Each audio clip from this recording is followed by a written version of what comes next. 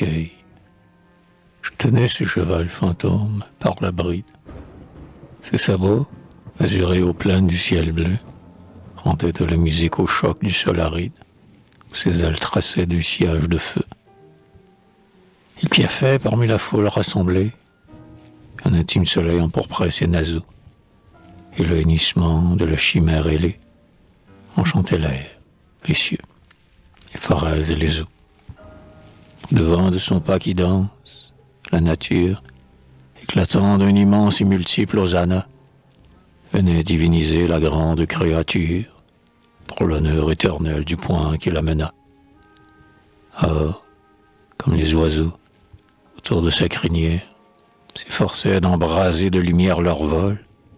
Soudain, le sifflement rapide d'une pierre effleura la courbure insigne de son col. La première, aussitôt mille pierres encore, touchait le poitrail frémissant et doré. Le sabot bleu d'azur et les ailes d'aurore, et les talons sublimes et tout debout. Cabré. Est-ce toi, mon cheval? Est-ce toi qu'on lapide? Je me retourne. Au loin, le troupeau des humains vise en grondant celui que je tiens par la bride et dont le sang sacré va me teinter les mains.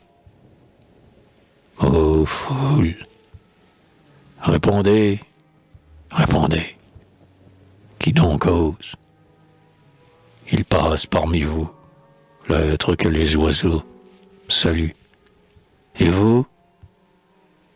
Le ciel sur son passage rose, et l'immortalité dilate ses naseaux. Vous avez peur sans doute, étant chose mortelle. Ou bien avez-vous cru Leurs insolentes voix s'arrêtent, ricanantes et grinçantes à la fois. L'unanime clameur s'élève. Il a des ailes,